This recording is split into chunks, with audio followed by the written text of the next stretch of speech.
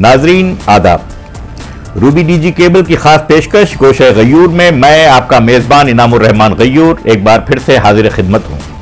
जैसे कि आपको पता है गोशा गयूर, रूबी डीजी केबल के नशरियाती नक्शे पर एक ऐसा मुकाम है, जहाँ हमारी मुलाकात होती है किसी नामवर मुनफरद हस्ती के साथ, और गुफ्तु होती है अहल फमज़ा से, ऐसे मौजूद पर जिनका रास ताल्लुक़ होता है आपके हमारे हालात से, जज्बात से, मामलात से।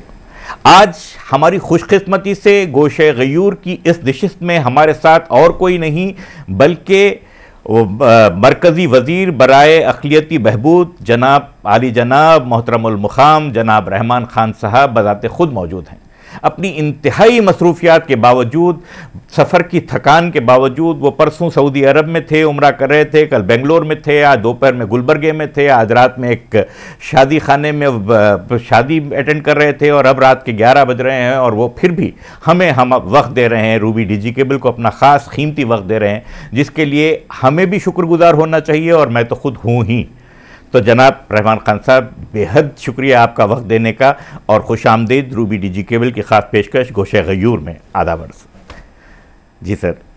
सर, मैं रास्त अब आप थके हुए हैं, वक्त कम है, मैं रास्त तौर पर सवाल जो है वो करता हूँ। आपका अखिलती बहबूद के महकमे का खलमदान संभालना हमारे लिए, हम सब के लिए एक तरह का खुशी का बास था, क्योंकि हम एक तरह से मायूस हो चुके चले थे कि ये महकुमा कोई कारगर किस्म की हस्ती के हाथों में नहीं आ रहा। लेकिन हमें ये साथ साथ ये भी अफसोस हुआ कि आपको बहुत कम वक्त मिल रहा है गालिबा।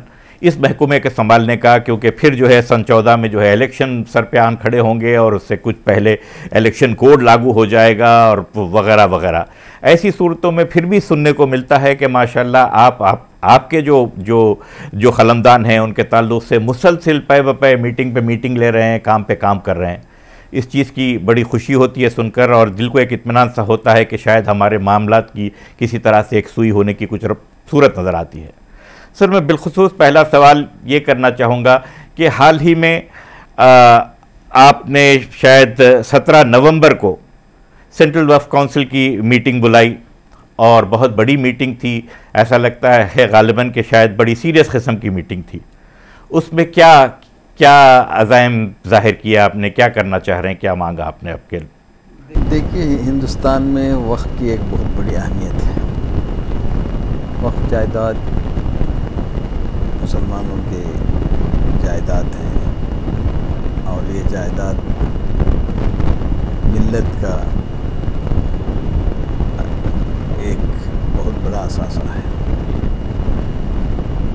इसकी तहफ़ और इसकी तरक्की मिलत के लिए बहुत ही ज़रूरी है।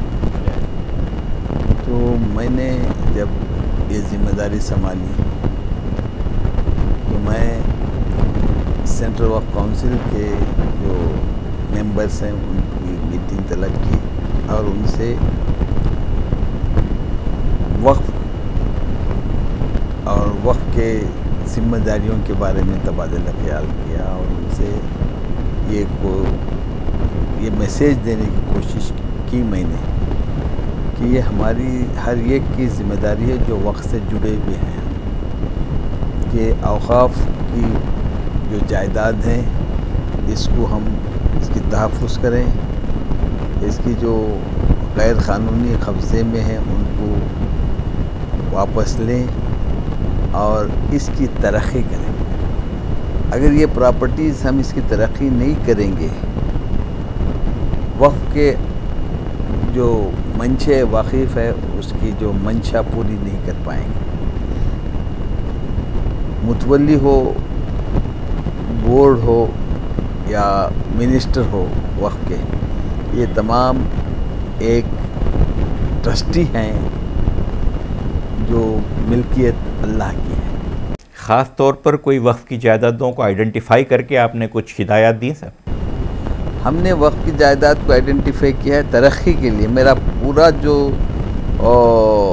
कोशिश है फोकस है कि हम वक्त की जायदाद को तरक्की करें, जो उससे जो इनकम जनरेट होती है, वो फलाही कामों में इस्तेमाल करें। जैसा कि तालीम की फ़रोग के लिए और दूसरे ऐसे ही कामों की फ़रोग के लिए हम इस बे, बेशुमार मिल्कियत जो है उसका इस्तेमाल करें। अगर हम ये जायदाद हम तरक्की नहीं करें, डेवलप नहीं करें तो ये भी नाजायज़ कब्ज़े में चले जाएँगे। तो और मैंने उनके ऊपर ये ज़ोर दिया कि ये सिर्फ़ हुकूमत की ज़िम्मेदारी नहीं है कि अवकाफ़ की जायदाद का तहफ़ करे। ये हर मुसलमान का फ़र्ज़ है कि अपनी जो ये जायदाद हैं अवकाफ़ के उसको बचाएँ और गैर क़ानूनी कब्ज़े से निकालें और कोशिश करेंगे कि ये प्रॉपर्टी को डेवलप करें डेवलप करके इससे मुल्क और मिलत का फ़ायदा हो। सब पिछले साल के बजट में ऐसा देखने में आया कि तीन हज़ार पाँच सौ करोड़ का बजट होते हुए ऐसा बोलने में आता है कि मुश्किल से सात फ़ीसद बजट इस्तेमाल में आया अखिलती फ़लाह के लिए। और उसकी वजह ये रही कि प्रॉपर एलोकेशन नहीं हो पाया वक्त पर कि किस डिपार्टमेंट के तहत किस तरह का बजट वो होगा। आ, कुछ नए इकदाम किए हैं आपने इसकी? देखिए ये बात कुछ हद तक सही है कि जो हमारा बजट का अलोकेशन था ख़ासकर मल्टी सेक्टरल डेवलपमेंट एम जो एक ख़ास प्रोग्राम है एरिया माइनॉरिटी एरिया डेवलपमेंट के लिए दुश्वारी ये आ रही है कि ये जो प्रपोजल्स होना चाहिए, ये 90 माइनॉरिटी कॉन्सेंट्रेशन डिस्ट्रिक्ट उसको उस डिस्ट्रिक्ट में आइडेंटिफाई करना है कि किन किन मदों पे ये पैसा खर्च होगा और इसका प्रपोज़ल स्टेट गवर्नमेंट भेजना पड़ेगा सेंटर और इसमें कुछ ऐसे स्कीम्स हैं जो 25 परसेंट स्टेट को बेयर करना पड़ेगा। तो ये सब रहने की वजह से स्टेट गवर्नमेंट से प्रपोजल्स हमको इन टाइम नहीं आते। जब इन टाइम प्रपोजल आते नहीं तो फाइनेंस मिनिस्ट्री का ये डायरेक्शन है कि आप आखिरी क्वार्टर में ज़्यादा पैसे नहीं खर्च कर सकते।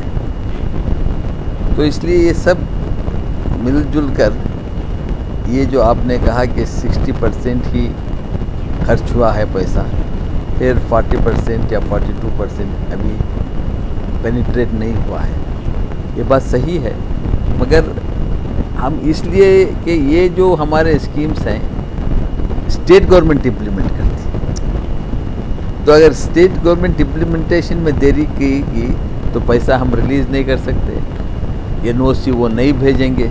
एनओसी नहीं भेजे तो फिर पैसा हम रिलीज़ नहीं करेंगे। इसमें दुश्वारियाँ आकर पूरा रुपया खर्च नहीं कर पाए। जिस तरह के हालात से मुस्लिम अखिलियत दो चार है उन हालात में इस तरह की किसी तरह की भी कोताही होती है तो बड़ा बड़ा भारी असर पड़ता है अखिलियत पर क्योंकि जो जो फलाही तरक्याती काम होने थे वो नहीं हो पाते हैं। आप कोई मैकेनिज़्म डिवाइस करेंगे सर आपसे तो है हाँ, कि आप ऐसा करेंगे? हाँ जी आपने सही कहा कि अगर इसकी मैकेनिज़्म को हम दुरुस्त नहीं पाएँगे, कर पाएँगे या इसी तरह का रह गया तो जो मकसद है इन स्कीमों का, वो फौत हो जाएगा। तो हमारी कोशिश है कि एक independent machinery monitoring mechanism raise करें, ताकि ज़िला की सतह पर स्टेट की सतह पर ये 15 पॉइंट प्रोग्राम हो या और कोई फलाई हमारे काम हो, वो जो जिसके ऊपर हम रुपया खर्च नहीं कर पाए हैं। लोगों तक इन स्कीमों की तशहर करें। इस इन स्कीमों के को उनमें अवेयरनेस लाएँ और इसको सही तरीके से एक मॉनिटरिंग मेकानिज़म सेटअप करें। जी वो, वो काम हो रहा है जी वो वो काम हो रहा है आपकी जेर निगरानी। बहुत खुशी की बात है सर। आपने नौवत ज़िलों की बात की कि जो है वो आइडेंटिफाइड ज़िले हैं जहाँ पर ये काम होना है तरक्याती काम होने हैं जहाँ पर मुस्लिम अकलीत अच्छी तादाद में है इस इस मुनासिबत से। उन नवत ज़िलों में आंध्र प्रदेश में एक भी ज़िला आइडेंटिफाइड नहीं है सर। है? आंध्र प्रदेश में है। आंध्र प्रदेश में है। शायद महबूब नगर और दो तेलंगाना में दो दो। दो हैदराबाद आंध्रा में कुछ तीन या चार ज़िले हैं अजला में हैदराबाद के बाद सबसे बड़ी आबादी मैं समझता हूँ करनूल ज़िले में है जो कि उधर रायलसीमा ये ये ये जो क्राइटेरिया है जो 25 परसेंट आबादी 25 से ज़्यादा होना चाहिए। मैं समझता हूँ आंध्रा में एक दो नहीं है तो ख्याल रखिएगा इंशाल्लाह और हम हमारी हमारी कोशिश ये हो रही है कि ये ये स्कीम बदल रहे हैं। अब हम इसको ब्लॉक लेवल पे ला रहे हैं। ये ज़िला जो होता है, ज़िले से फ़ायदे नहीं हो रहे हैं, क्योंकि ज़िला बहुत बड़ा एरिया होता है। और कहीं मुस्लिम पॉपुलेशन कॉन्सेंट्रेट होती है और कहीं वो ज़िले में नहीं होती। तो ये डिस्ट्रिक्ट कलेक्टर कहीं भी खर्च कर सकता है। जहाँ मुस्लिम आबादी नहीं है, वहाँ भी खर्च करता है। तो इसलिए कोशिश है कि ब्लॉक की पॉपुलेशन लेकर हम बनाएँ। उस वक्त पर नवद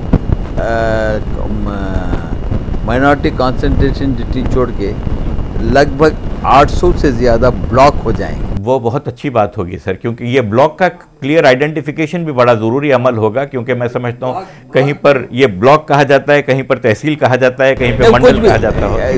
यूनिट जो है वो अलग अलग जगह अलग अलग नाम पे है पर हम ये कहेंगे कि ब्लॉक है जो एक तहसील भी हो सकता है एक दूसरा क्या बोलते हैं नॉर्थ में ये कस्बा भी बोल सकते हैं। तो वो उसकी तरफ़ हम जा रहे हैं। ट्वेल्थ प्लान में इसके ज़िक्र है। अगर वो राइज हो गया तो बहुत से छोटे छोटे जो गाँव, शहर हैं, यानी कि इसमें जो कस्बे में या ताल्लुका में जो जो हम ताल्लुक़ कहते हैं, वहाँ बहुत बेनिफिट होगा। आपने आपने अभी बात की कि जो है छोटे छोटे कस्बे में जाके वो करने की ज़रूरत है क्योंकि ट्वेल्थ प्लान यही तकाजा है ट्वेल्थ प्लान के बजट एलोकेशन का। आ, प्लानिंग कमीशन की स्टीयरिंग कमेटी ने गालिबन 40 लाख करोड़ रुपए का प्रपोज़ल दिया था कि होना चाहिए ट्वेल्थ फाइव ईयर प्लान में लेकिन शायद सत्रह हज़ार करोड़ पर बात कुछ तय हुई है।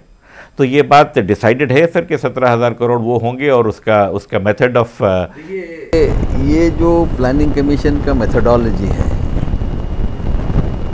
उनका ये मेथडोलॉजी है कि आपने कितने पैसे जो आपको अलोकेट किए गए थे पिछले इस प्लान में खर्च किया।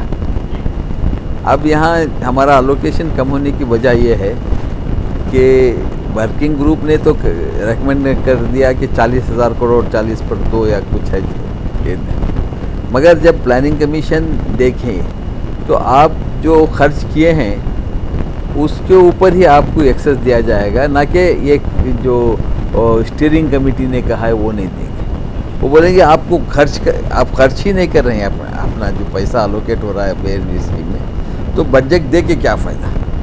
तो हमारी ये कोशिश, हमें, हम प्राइम मिनिस्टर से अप्रोच हुए हैं प्लानिंग कमीशन से अप्रोच हुए हैं कि अखिलियत, जहाँ तक अखिलियत का सवाल है, ये क्राइटेरिया आप बदलाएँ।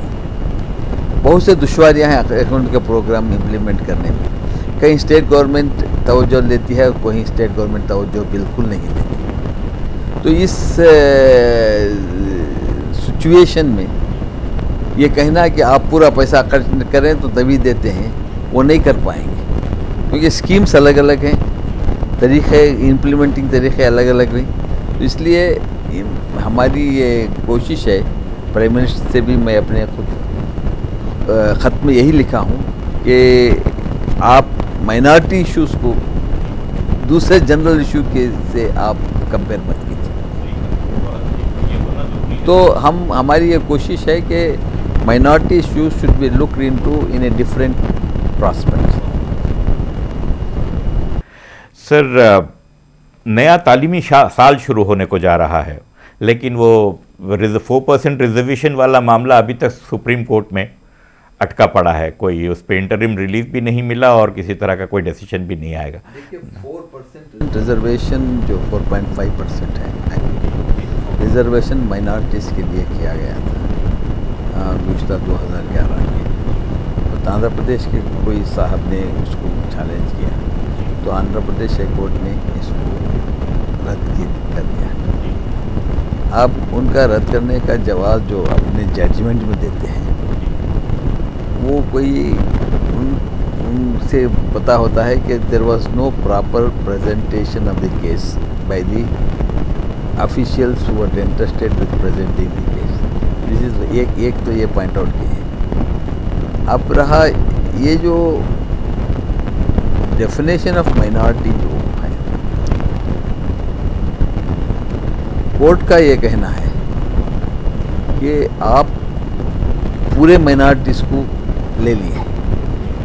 बैकवर्डनेस क्राइटेरिया छोड़ के आप पूरे माइनॉरिटीज़ को एक नहीं तो उनका कहना है कि ये जो मुस्लिम रिजर्वेशन की बात आप कर रहे हैं, ये रिजर्वेशन सबके लिए है। अभी सबके लिए है तो ये ये जो माइनॉरिटी आप कर रहे हैं it is not a homogeneous group यानी क्रिश्चियनिटी को, के बैकवर्डनेस अलग है। बुद्धिस्ट की बैकवर्डनेस अलग है। इसी तरह से दूसरों की बैकवर्डनेस भी अलग अलग है। तो आप एक एक क्राइटेरिया से सब माइनॉरिटी इसमें हिस्सा लेंगे, ये ये कहना कोर्ट को सही नहीं लगा तो रद्द किए थे इसको। तो अब मामला सुप्रीम कोर्ट में है। तो हम सुप्रीम कोर्ट में इस मामले को सही तह पर लाएँगे और हमारी कोशिश रहेगी कि ये जो सुप्रीम कोर्ट के अच्छे से अच्छे वकील इसमें अटॉर्नी जनरल गुलाम वाहनवती साहब के आर्ग्यू करने के बावजूद भी कोई पार्शल रिलीफ भी नहीं मिला था सर देखिए वहाँ पर जो है जो observation Andhra Pradesh high court ने किया है उसको हमने स्टे पूछा था। अब उन्होंने स्टे नहीं दिया है। स्टे इसलिए नहीं दिया कि ज़्यादातर अफराद को इसमें इफ़ेक्ट नहीं हो रहा है। उनका कहना है। तो अब ये केस सब्जुडिस है और कोशिश है कि हम हमारी जो आर्ग्यूमेंट्स हैं इन फेवर ऑफ़ रिजर्वेशन वो सही तरीके से पेश करें। उन्होंने अपने बजट में ये भी लिखा है कि एडवोकेट ने सही प्रेजेंटेशन नहीं किया we are sorry we we don't appreciate ये सब लिखा है। तो कहीं ना कहीं हमारे प्रेजेंटेशन में और हमारा केस रखने में हम कामयाब नहीं हुए होंगे। अब सुप्रीम कोर्ट में है मामला। वो स्टे तो नहीं दिए गए हैं मगर स्टेटस को के लिए हम पूछ रहे हैं। तो इन अगर आ, मिल गया तो अच्छा है वरना हम दूसरे जगह पर इसको पूरा करेंगे। सर 12 दिसंबर को शायद दिल्ली में जो है वो कुछ झुग्गी झोपड़ियों को हटाने, उसकी लैंड को एक्वायर करके रास्ता बनाने के उनवान से कई झोपड़ियों को उठा दिया गया। उसमें बोलते हैं एक मस्जिद भी शहीद हो गई, उसमें कुछ खबूर भी थे, वो भी हो गए। आपने बड़ी सख्त रिपोर्ट मांगी उसके ताल्लुक से, आपने बड़ा बड़ा सख्त लेटर लिखा है, सुनते हैं दिल्ली सरकार को। कि ये ऐसा क्यों हो रहा है? क्या सूरत हाल है सर? देखिए ये सही है कि मेहरवली में एक वक्त की जायदाद पे, पे जहाँ चंद लोग बसते भी थे बसे हुए थे वहाँ कुछ खबरें भी थी और मस्जिद भी थी। डी ने इसको जो लोग वहाँ थे उनके उनके ऊपर कार्रवाई करके वो उनको वहाँ से हटाने की कोशिश कर रहे थे। और ये कहा गया कि चंद खबरें थे उसको मिसमार किया गया है। मस्जिद को मिसमार, मस्जिद में बेहरमती हुई है और वो अरबी किताबों पर कुछ जला दिए गए ये तमाम रूमर्स सामने थे। तो जब डेलीगेशन मुझे आके मिले तो मैंने वहाँ दो चीज़ें हैं। देखना है कि वो अक्वायर कब हुई थी। अब अक्वायर हो, अगर अक्वायर हो गई तो वो जो एक्विजिशन कास्ट किसको गया है? और एक्विजिशन क्या वजह से की गई? ये सब इज्तमाही ने ख़त लिखा है डी डी चेयरमैन को भी लिखा है, और मैं होम मिनिस्टर को भी लिखा हूँ। और दिल्ली की चीफ मिनिस्टर से भी मैं बात कर चुका हूँ। अब उनकी, अब जो हम, हमें इतला मिली है कि ये जो अवकाफ ये जो जगह थी, वो जगहें उन्होंने कुछ नहीं टच किया, ख़बरों को टच नहीं किया। That is what D D has set और उनका कहना है कि जो हम इलीगल ये पार्क के लिए अकबर किए गए थे तो हम पार्क वहाँ पार्क की जगह में दूसरों को रहने नहीं देंगे। क्योंकि सवाल यह है कि ये जो प्रॉपर्टी है अकबर हो गई है। सवाल यही है कि अकबर हो गई तो मिल्कियत हुकूमत की हो गई। मगर हम फिर भी कोशिश हमारी जारी है और अगर वो वक्त की जायदाद है तो हम ट्रिब्यूनल जाके उसको फाइट आउट करेंगे बोला यही जाता है सर कि एक्वायर तो हुई है लेकिन उसके एक्विजिशन का तरीका अपनी जगह पे गलत था यानी गलत तरीके से एक्वायर की गई और उसको कॉन्टेस्ट किया जा सकता है। उसको कॉन्टेस्ट किया जा सकता है। ज़ाहिर है कि उसी एग्जामिनेशन की बात कर रहा हैं। या उसको एग्जामिन करना पड़े उसको एग्जामिन ये मैं कर रहा हूँ उसको वो भी कर रहा हूँ और कोशिश है कि दिल्ली की चीफ मिनिस्टर भी मेरी बहुत हेल्पफुल हैं।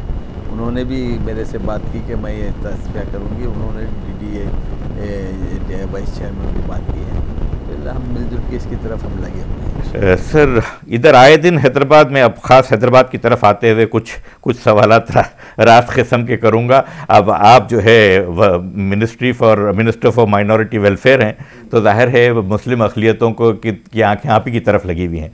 इधर अखबारों में बहुत दिनों से जो है ये बात बार बार उठाई जा रही है खसूस उर्दू अखबारों में ये बात उठाई जा रही है कि क्या आंध्र प्रदेश इतना बड़ा सूबा और इतना मुसलमानों की इतनी बड़ी आबादी का सूबा और शहर हैदराबाद में मुसलमानों की इतनी बड़ी आबादी और इतने पढ़े लिखे लोगों की आबादी होने के बावजूद आज तकरीबन चौंसठ साल हो गए मुल्क को आज़ाद हुए, हैदराबाद के इंजमाम को हुए हुए, लेकिन आज तक भी आंध्र प्रदेश में कोई मुस्लिम चीफ सेक्रेटरी तक नहीं बना।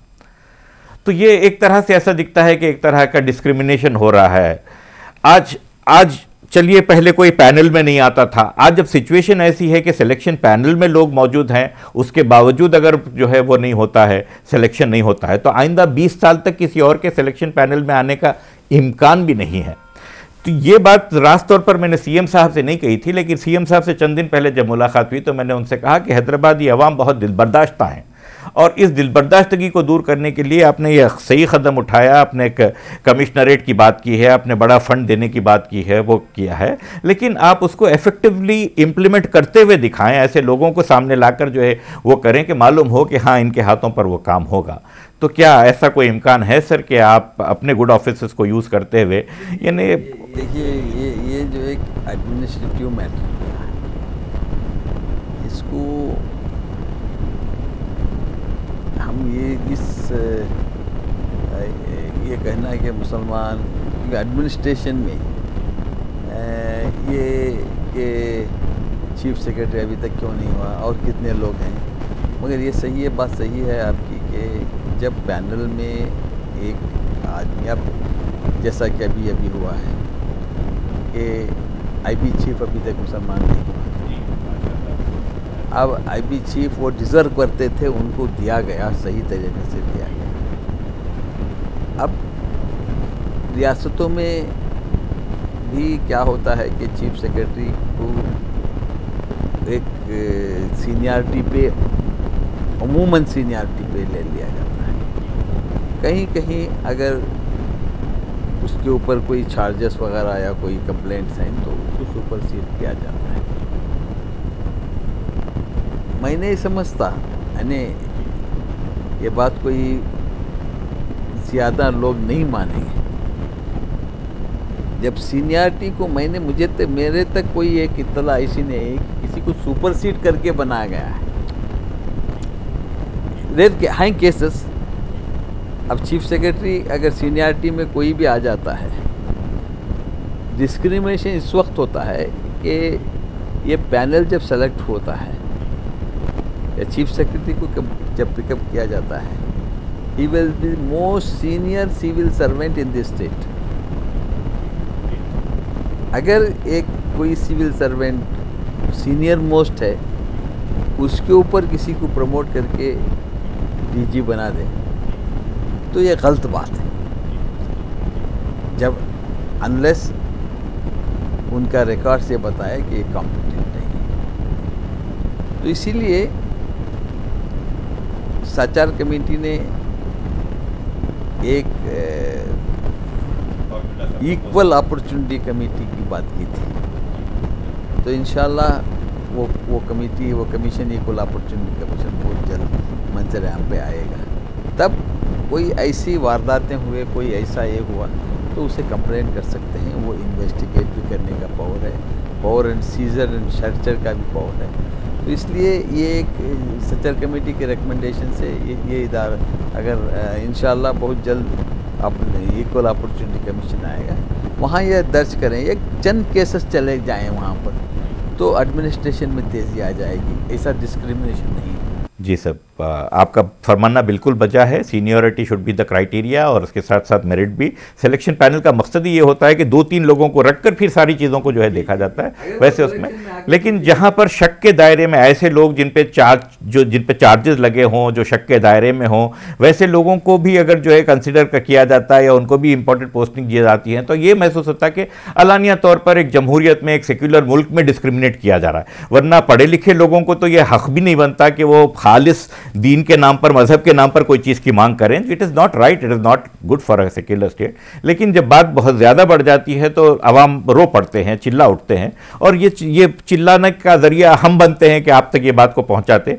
चुनाचे सी साहब से भी जो है बात की थी मैंने कि इस वक्त दिलबरदाश्ता कौम के ज़ख्मों पर मरहम लगाने की ज़रूरत है।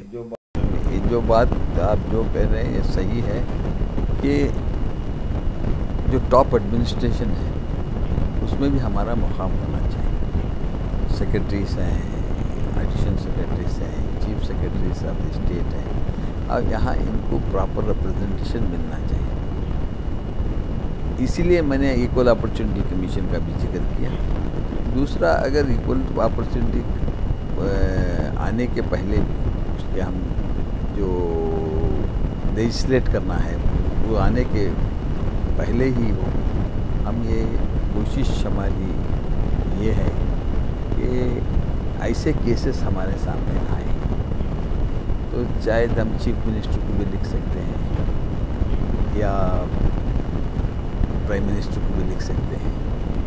तो अगर मुझे नहीं लगता कि मेरिट को ओवरलुक किया जाएगा, मगर कहीं ऐसे केसेस अगर आते हैं तो अगर वो मिनिस्ट्री से अप्रोच कर रहे हैं तो या माइनॉरिटी कमीशन को भी जा सकते हैं। मेरा ज़रूरत नहीं, हम कह के बोल सकते हैं कि ये कर लें। ये इस तरह का भी इतना भी तयन बहुत ज़रूरी है। सर, आपकी ज़ात से यही उम्मीद है कि आप जो है दुख को समझते हैं, you have seen the the public from very close quarters आपकी पब्लिक की पल्स पे आपका हाथ है तो आप समझते हैं कि दुख दर्द क्या है इनका। और यही सारी तवक़ात आपसे वाबस्ता हैं। बहरहाल वक्त कम है आप थके हुए बहुत हैं वरना हकीकत यह है कि मेरा दिल यकीनी तौर पर नहीं भरा और हवा जी हाँ। इन इंशाल्लाह जब देखिए आप ये सिर्फ़ मुझे ये ज़िम्मेदारी संभाले हुए एक दो महीने दो दो, दो महीने दो महीने चले हैं और मैं ये, मुझे एहसास है कि लोगों के तोक़ात मेरे से ज़्यादा हैं। मैं उनका शुक्रगुजार भी हूँ कि उन्होंने मेरे ऊपर अतमाद किया, कर रहे हैं। मैं सिर्फ़ अल्लाह रबुल्ज़त के दरबार में ही हर वक्त दुआ करता हूँ कि अल्लाह मुझे इस काम में कामयाबी मेरे मंसूबों को और कौम के जो मेरे से उम्मीदें हैं, उसको पूरा करने में मेरी मदद करें। और मैं ये भी कोशिश करूँगा कि ईमानदारी से मेरी ज़िम्मेदारी को संभालने की। और चंद ऐसे मंसूबे लेकर कामयाब करने की कोशिश करूँ। अगर अल्लाह ने चाहा तो उससे मुसलमानों के जो माशी, तालीमी और इस्तादी मसाइल हैं, उसको हल करें। और हमारी मेरी ये कोशिश रहेगी कि इस मिनिस्ट्री को इंटरेक्टिव मिनिस्ट्री बनाए। यानी कि लोगों के मशवरों से लोगों के एहसास को समझने। ये मिनिस्ट्री की ज़िम्मेदारी है कि जो 22 से 23 करोड़ अखिलियत के लोग हैं, उनके जो हकूक़ हैं, वो उन हकूक़ों को उन तक उनको दिलवाना हमारी अवलिन तरजीह है। दूसरा जो है सचार कमेटी रिपोर्ट जो यूपीए सरकार ने, हमारी सरकार ने कायम की थी। उसका रिपोर्ट मंजर आम पर आया। वो मैं समझता हूँ कि सचार कमेटी एक आईना है जिस जो वो वो जो कमेटी ने ए, मुल्क के सामने मुल्क के लोगों के सामने एक नक्शा रख दिया कि मुसलमान इन साठ सालों में क्या खोया और क्या पाया। अब जो खोया है किस किसके ज़िम्मेदार को वो भी निशानदेही तो आज हम बहस में नहीं जाकर ये कोशिश करना चाहिए कि हुकूमत ने ये रिपोर्ट को इन टोटो एक्सेप्ट की है। और जब ये हुकूमत ने रिपोर्ट को इन टोटो एक्सेप्ट की है तो ये हमारी और एक मिनिस्ट्री क्रिएट किया गया। यानी कि सचार कमेटी की बुनियाद रखकर ही माइनॉरिटी अफेयर्स मिनिस्ट्री को क्रिएट किया गया और ये ज़िम्मेदारी उनको सौंपी गई मैं इन आप तमाम की, आपके व्यूवर्स की दुआएँ मुझे चाहिए ताकि मैं मेरी ज़िम्मेदारी को और उन लोगों ने मेरे ऊपर जो तवक़ात किए हैं, उनको पूरे कर एक एक एक आखिरी सवाल की और जहमत दूँगा सर आपको। हम अहलियान हैदराबाद का बड़ा गहरा जज्बाती रिश्ता है खसूस खसूस हैदराबाद, कर्नाटक से। जी तो अभी अभी आप वहाँ से तशरीफ़ ला रहे हैं, वहाँ पर भी आपने मीटिंग एड्रेस की और हैदराबाद कर्नाटक के लिए ख़ास पैकेज भी जो है अनाउंस हुआ हुआ है। हैदराबाद कर्नाटक के हवाले से नहीं, बल्कि कर्नाटक में अखिलियतों के हवाले से आप कुछ कहें कि क्या क्या किया जा सकता है, क्या इम्कान हैं, क्या हो रहा है? देखिए देखिए, मैं कर्नाटक के मुसलमान हो या हिंदुस्तान के मुसलमान उनसे यही मेरी अपील है कि हमारे जो मसाइल हैं, वो जज्बात से नहीं, एक दूरंदेशी का ख्याल रखते हुए हम मसलों को प्रेजेंट करने की कोशिश करें और हमारे प्रायोरिटीज़ को डिफाइन करें आज तक मुसलमान अपनी तरक्की के लिए, अपने एम्पोर्टमेंट के लिए कोई एक प्लान उसके पास प्रायोरिटी नहीं फिक्स की है क्या तालीम हमारी प्रायोरिटी होना चाहिए? क्या हमारे मुस्लिम पर्सन ला प्रायोरिटी होना चाहिए?